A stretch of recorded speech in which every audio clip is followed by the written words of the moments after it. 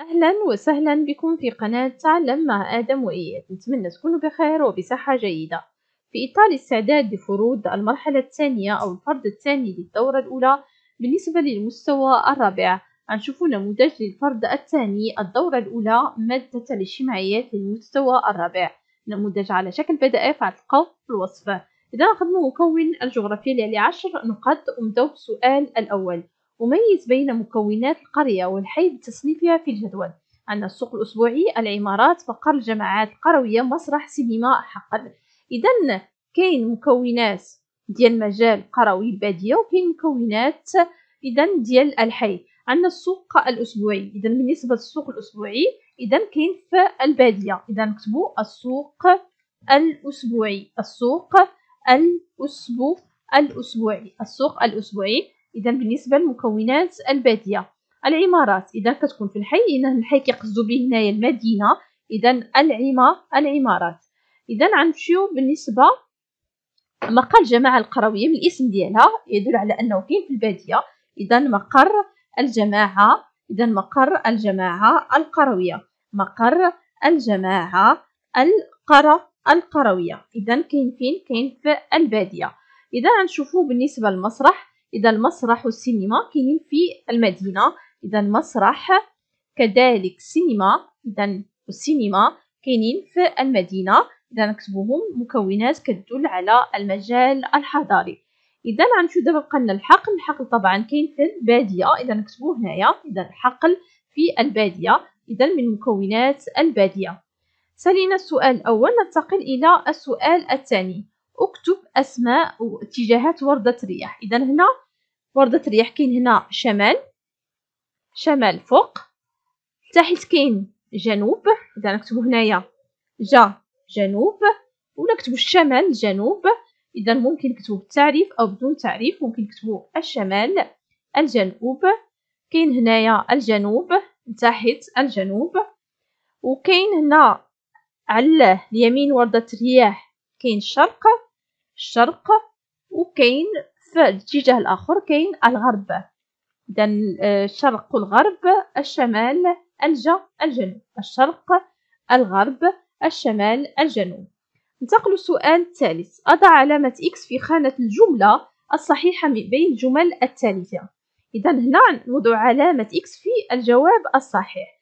إذا هنا بالنسبة يتكون مشهد البادية من قرى وعمارات عالية خطأ. يتكون مشهد البادية من قرى بها مباني مشيدة ومرافق وأراضي فلاحية يتكون مشهد البادية من مدن ومرافق عدة خطأ. إذا مشهد البادية مكيتكونش من قرى وعمارات عالية. يتكون من قرى ولكن عمارات عالية خطأ. لا إذا هنا خطأ. يتكون مشهد البادية من مدن ومرافق عدة مدن لا. أما كاين مرافق كاينين مرافق في البادية. أما الجواب صحيح يتكون مشهد البادية من قرى بها مباني مشيدة ومرافق وأراضي فلاحية اذا بالنسبة لمشهد الباديه فيه قرى في مباني مشيدات كاين الديور إلى آخره كاين كذلك الحوانت وكاين مرافق وكاين أراضي في فلاحيه اذا غنمشيو دابا مادام سالينا السؤال الثالث ننتقلوا السؤال الرابع. السؤال الرابع إملأ الفراغ بما يناسب الاتجاهات الأربع وردة الرياح موقعي مشهد إذا لوصف مدى حضاري أستعمل تصميما وأحدد بهذا المشهد لأتمكن في السير به بسهولة.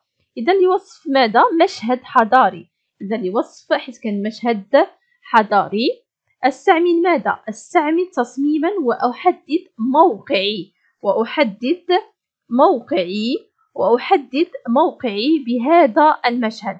وأحدد موقعي بهذا المشهد بواسطة ماذا؟ بواسطة وردة موقع كنحدو بواسطة وردة الرياح. بواسطة وردة الرياح. لماذا؟ لأتمكن من السير في الاتجاهات الأربعة. يعني ممكن نمشي شمال نعرف فين غنمشي شمال جنوب شرق غرب. لأتمكن هنايا من السير في الاتجاهات الأربعة. الاتجاهات الأربعة. لأتمكن في السير في الاتجاهات الأربعة. إذا هنا كملنا الفقرة. إذا نقرأوها لوصف مشهد حضاري أستعمل تصميما واحد. وأحدد إذا لوصف مشهد حضاري أستعمل تصميما وأحدد موقعي بهذا المشهد بواسطة وردة الرياح لأتمكن من السير في الاتجاهات الأربعة بسهولة. نعم أحسنتم. ننتقل للسؤال الخامس. وعرف ما يلي المكونات البشرية وكل ما شيده الإنسان وهيئ من أراضي وتجهيزات ومرافق مختلفة لسد حاجاته.